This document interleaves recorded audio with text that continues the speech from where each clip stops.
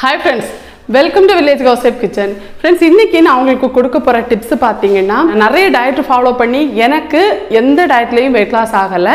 நான் இந்த மூணு டிப்ஸும் ஃபாலோ பண்ணதுக்கு அப்புறமா தான் எனக்கு வெயிட் லாஸ் ஆச்சு. ஸோ அந்த மூணு டிப்ஸ் தான் இன்றைக்கி உங்கள் கூட நான் ஷேர் பண்ணுறேன் அந்த மூணு டிப்ஸ் என்ன அப்படின்னா ஃபஸ்ட்டு டிப்ஸ் பார்த்தீங்கன்னா இனிப்பு.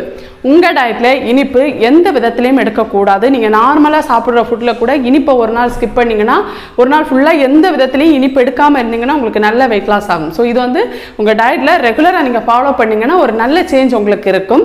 ரெண்டாவது டிப்ஸ் என்ன அப்படின்னா நீங்கள் ஃப்ரூட்ஸ் இப்போ நிறைய பேர் டயட் அப்படின்னா ஃப்ரூட்ஸ் நிறைய சாப்பிடலாம். சாப்பிட்டா ஃபாஸ்ட்டாக வெயிட் லாஸ் ஆகும் அப்படின்னு நினைப்பாங்க.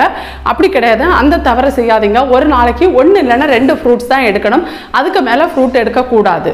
மூணாவது டிப்ஸ் என்ன அப்படின்னா ஒவ்வொரு உணவுக்கும் குறைந்தது நாலு மணி நேரம் இடைவெளி விட்டுக்கோங்க. இரவு உணவுக்கு எட்டு மணி நேரம் இடைவெளி விட்டுக்கோங்க. அதாவது காலையிலேருந்து நீங்கள் லஞ்சுக்கு ஒரு ஃபோர் ஹவர்ஸ் இடைவெளி விட்டுக்கோங்க. லஞ்ச்லேருந்து டின்னருக்கு அதே மாதிரி ஒரு நாலு மணி நேரம் இடைவெளி விட்டுக்கோங்க. டின்னர்லேருந்து மறுநாள் காலையில் உங்களோட காலை உணவுக்கு குறைஞ்சது ஒரு எட்டு மணி நேரம் இடைவெளி விட்டுக்கோங்க. ஸோ இந்த மாதிரி கேப் விட்டு நீங்கள் சாப்பிட்டீங்கன்னா நீங்கள் நிறைய சாப்பிட மாட்டீங்க. உணவு அளவாக எடுத்துப்பீங்க.